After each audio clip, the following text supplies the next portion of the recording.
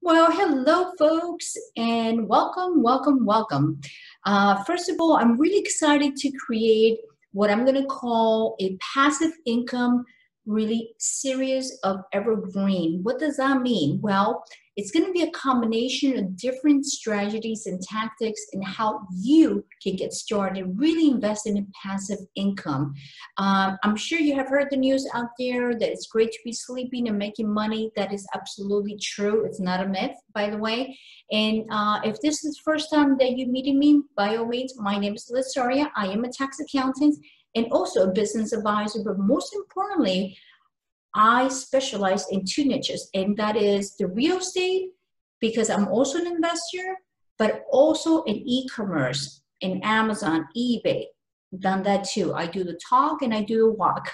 And I always think that's so important for anyone to know that because even though I crunch numbers and I love what I do, I also need to get in the opposite side of other people's shoes and understand what they go through to gain their experience and what is the trial and error because in every industry there's always something goes wrong but there's a lot of good stuff that happens so let's go ahead and get started i'm going to tell you exactly the breakdown i'm going to share with you a lot of things i have learned throughout many years uh, I've been in business for over a decade and helped many entrepreneurs for many years. Like I said, they're landlords, they own multi-families, they own buildings. Some people own single family homes. Um, others have owned mobile homes uh, land. Um, and I think in the very first series that you're going to get from this evergreen, and I really mean evergreen because real estate has been around for decades. And uh, we know the wealth has always been produced uh, really by three ways. And the three main exclusive ways to really make more money in passive income is number one, absolutely will always be real estate except if something comes up, you know, in the next 10, 20 years, right? Uh, but then the second part is e-commerce. This has been booming and booming with the last couple years, especially now that we have seen so many retail stores shut down uh, because of the most recent crisis that we have had. But we can continue seeing this trend, I'm not surprised. When I got started way back more than five years ago, that's right, I had my own Amazon store too and I was a private seller, I remember that even when my clients were making thousands and they reach over a million, two million dollars, I used to think to myself, it used to blow my mind and say, how is that possible? Somebody who's just doing drop shipping and you know exchanging things and making money, uh, how is it that you know FBA and Amazon?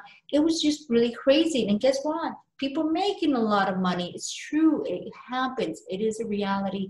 So in this series, I'm going to be doing a, a, just a sequence in real estate. And one of the things I'm going to be talking about, and I'm going to get started with this very first episode, is I'm going to be talking about exactly uh, why investing in condos and also uh, versus to single family homes. What's really the true difference between the two of them? And which one is it really a better investment okay so i'm sharing an article about this um, I like doing that when I record any kind of episode because I think it helps a lot to read, you know, after watching a video, or hopefully you might be listening to me through my podcast. That's right. I have a separate podcast that I share the same audio. And I will be linking some of these articles with that uh, in case you want to go back and just go more in depth and, and, and really read the entire article. So that's going to be the very first episode. Now, the second episode, by the way, is going to probably be very lengthy. And I mean that because you're going to be surprised that one of the second uh, best investments in real estate besides single family homes and condominiums it's really manufactured homes and you probably have been hearing this um, or, or if you haven't i mean definitely this is something that you might want to look at and that's going to be a very likely like i say uh, you know episode because a lot of things that you need to know about exactly manufacture homes, right? And then on the second part of the series, you're going to be learning about e-commerce. That's right we're going to be learning about e-commerce about you know the differences between ebay and amazon and shopify because i think this is important. I mean if you really don't want to get into real estate and that's fine it's not for everyone you know and i really really understand that. Then in that case you might want to have the charge option. You feel more comfortable with, you know, uh, like I said, doing drop shipping or perhaps doing the FBA, which they handle everything for you, right? And you, they obviously they, they make a percentage of your sales, but they do all the shipping for you. They do all the refunds. They do returns. I mean, it's just great as long as you have the right product. Um, and then finally, on the what I consider the third part of this evergreen, you know, passive income series, it's going to be really we're going to talk about other ways of alternative investment. And what I mean by that is starting your business or expanding your business online. And that means whether you're offering your professional services like I do as an accountant, that's what I do. I don't sell products through, you know, my firm, which I've been in business for over 10 years now online. I started in the cloud and I'm still in the cloud, meaning that I'm really not a brick and mortar, you know, uh, business. So therefore, um, I, this is what I've been doing, like I said, and you know, it's been very successful for me. Um, so even though I'm in a traditional, right, um, you know, career, but even with that, I think that people who really have expertise and they can share their skills and their experience, whether you have a degree or you don't have a degree, that's the least for you to worry about. There's always something that you can share with someone else. And whether you do coaching, you do consulting, or perhaps in this case, I've seen people starting to create a lot of online courses, right? Uh, instead of sharing one-on-one coaching, which is very time consuming, uh, sometimes what they do is they just actually create an online course. And that is great because again talk about passive income. You know people could be purchasing your courses and everything is digital everything is online right? So it's a really phenomenal way of making money and sharing right? Sharing your your your, your experience. Why not with the rest of the, of the world?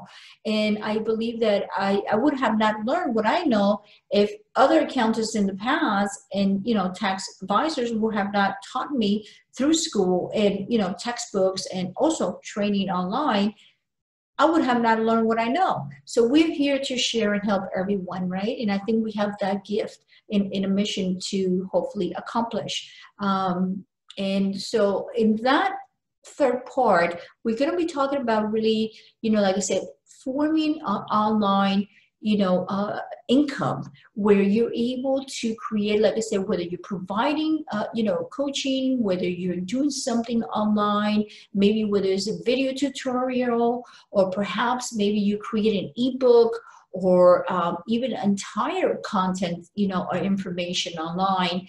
So becoming an entrepreneur, it's one of the greatest successes the, the most I see from all my clientele and from the years that I've been in business successfully running is that there's really three main ways of making passive income. That is true. It's investing in real estate, like I said, that's going to be a series that we're going to be talking about. And then the second one is going to be about e-commerce, like I said, selling online. And third is about really sharing your expertise and creating online courses and ebooks and uh, you know anything else that you can share that you don't have to physically be there uh, to accomplish that.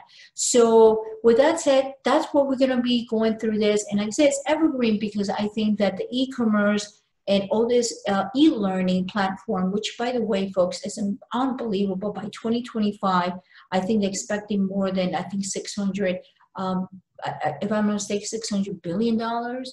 I mean, it's crazy how how this industry is growing. So, and again, what better that you become self-employed be an entrepreneur. And if you haven't seen some of my past videos, by all means, feel free to do so. Um, I've been doing YouTube and, and a podcast for quite a few years also.